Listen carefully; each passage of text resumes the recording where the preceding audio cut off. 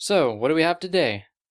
The answer to 1984 is 33 AD. Approximately.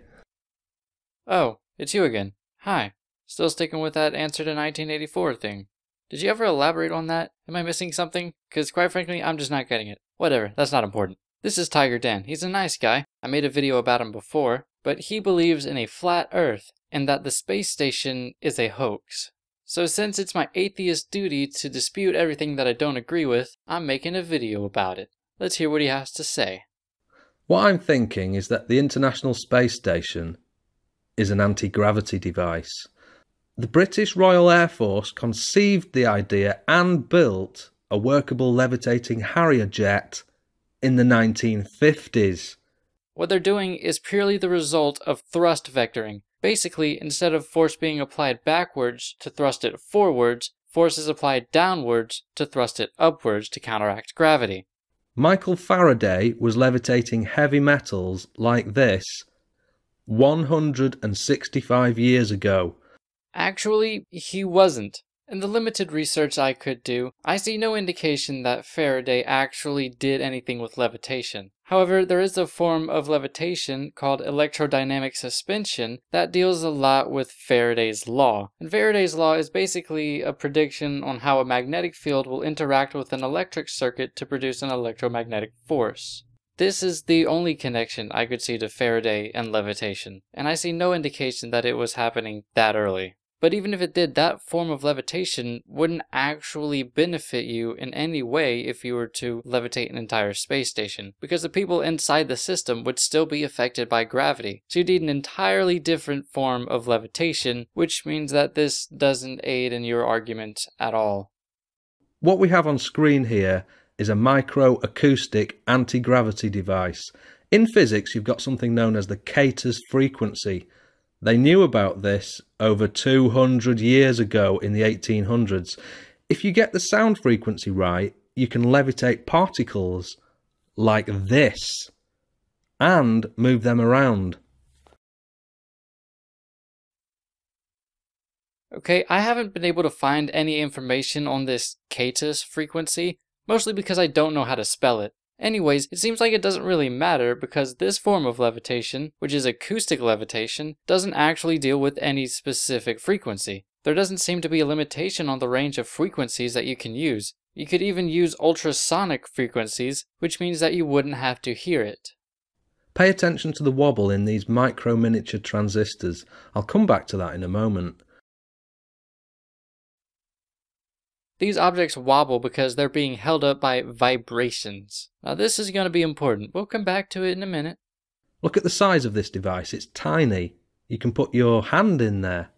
Now, if I could build this on a bigger scale, so if you could imagine the International Space Station being roughly this size in comparison to what would be the gigantic acoustic harmonic devices surrounding it, then the space station itself and all the astronauts inside would be levitating.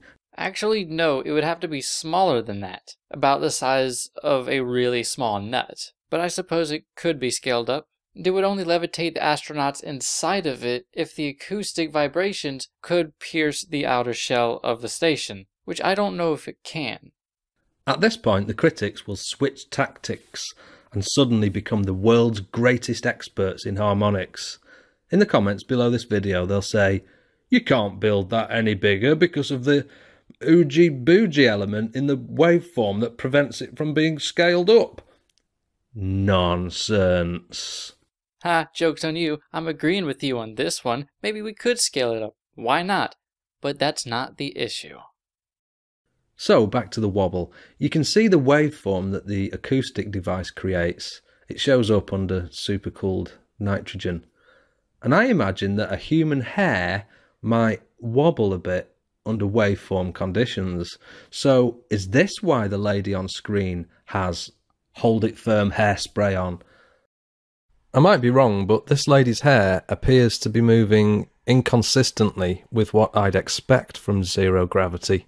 I'm not sure why you're saying this, because it seems to me that's exactly how it would behave in zero gravity. When she moves her head, her hair moves with it, with a slight delay, but that's not unexpected. I don't see any wobble in her hair, but even if I did, this wouldn't be explained by acoustic vibrations. See, if the entire space station was being held up by this acoustic levitation, then imagine that the entire space station itself was like those nodes that we saw earlier. The entire thing would be shaking violently because it's literally being held up by vibrations. The station wouldn't be still and only the hair on the people inside of it being vibrated. The vibrations affect the entire system. So, how on earth would I go about explaining away the International Space Station on the ground? You probably think it's an impossible task and can't be done. Why would I think that? What's to say that it's not possible? So, how do you simulate weightlessness? Michael Faraday could levitate heavy copper like this in the 1850s. No, actually, he didn't. He wasn't really concerned at all with levitation. Anti gravity devices come in lots of different forms. In its most simplistic form, you can see from the video here that if you pass a neodymium magnet through a copper tube, it becomes weightless. No, it doesn't. It passes through the tube, it falls. Turn the copper tube on its side, trapping the magnet in, and you've got complete weightlessness.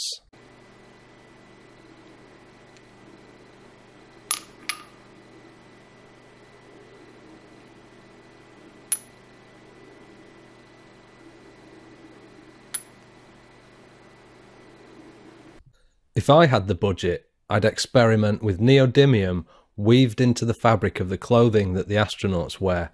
But that would be obvious to the astronauts, because they wouldn't just be floating, they'd be held up by their own clothes, and their clothes would have to be able to fit tight around them. Not only that, but there's a lot of electric stuff going on around them, and I believe that magnets that strong would strongly interfere with all those computers laying around. Um, but I think that the acoustic design offers the best realistic example of a scaled up device that could defy gravity. Except for the fact that it would vibrate a lot, which is inconsistent with the videos that we see of the International Space Station. If the magnetic or harmonic devices didn't produce the best results, which they most certainly don't, then as we can see here, they were experimenting with gimbal devices in the 1950s. Oh dear. Supermassive gimbal devices that somehow simulated a primitive form of horizontal weightlessness under the right spin conditions. What? No. You could clearly see in the video that that person is being held up by a harness and a wire.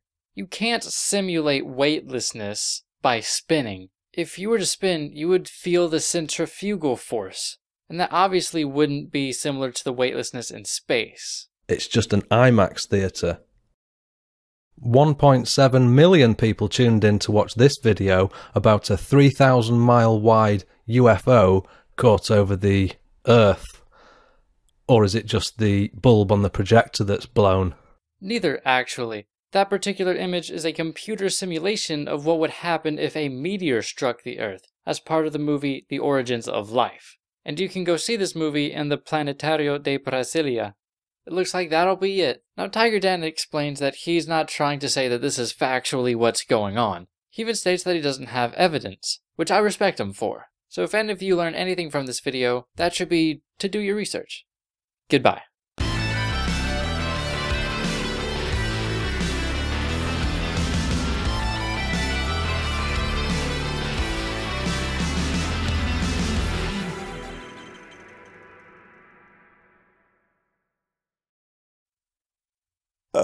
Uh.